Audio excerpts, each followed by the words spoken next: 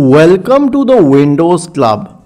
If the signature button is not working in Microsoft Outlook, then either read through this article on the website or simply watch this video. I will guide you through the resolutions. The first solution is to run the Microsoft Support and Recovery Assistant, which has been explained over a separate article and video. The next solution is to repair Microsoft Office. Right click on the Start button and select Settings from the menu. Go to the Apps tab on the list on the left hand side. In the right pane, select Installed Apps. Now, scroll down to the Microsoft 365 application and click on these three dots associated with it. Select Modify. You will get this screen.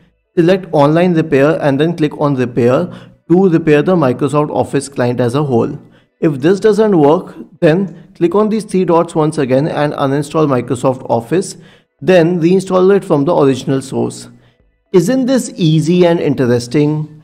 If you have any doubts, please go to the original article on the Windows Club, scroll down to the comment section and write your query.